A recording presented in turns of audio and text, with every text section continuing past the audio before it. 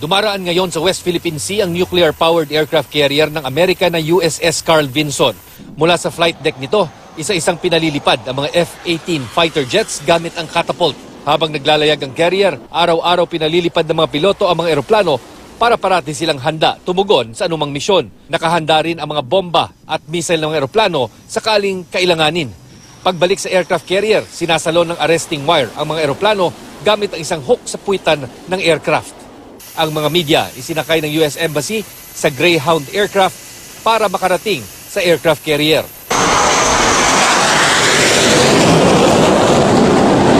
Isa sa pinakamalakas na barkong pandigma ng Estados Unidos ang USS Carl Vinson dahil bukod sa mga bitbit nitong F-18 fighter jets bilang flagship in command ng isang strike group, sinasamahan din ito sa kanito magpunta ng iba pang mga barkong pandigma gaya ng mga destroyers at mga submarine.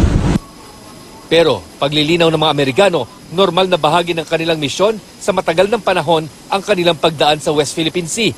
Nitong mga nakaraang linggo, lumitaw ang ilang litrato na nagpapakitang halos kompleto na ang mga airport at naval bases ng China sa pitong nireclaim na mga bahura. This is a very visible and tangible presence. The United States is here. Again, we will be here. And think about this 70 years of peace in the Pacific. We're just, you know, as Carl Vinson Strike Group, we're doing our part to keep that chain in, in place. Kabilang sa mga VIP na bumisita sa USS Carl Vinson, sina PCOO Secretary Martin Andanar at Executive Secretary Salvador Medaldea.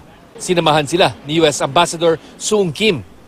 Lahat naman ng mga ganitong usapin ay hindi naman pwedeng hindi pag-usapan. At uh, ito ay uh, napag, usa- napag-uusapan naman ito ng ating uh, Armed Forces of the Philippines, ng ating um, uh, NSA, uh, DFA. Nakatakdang bumisita ang USS Carl Vinson sa Manila bagamat hindi pa sinasabi kung kailan. Chino Gaston, GMA News.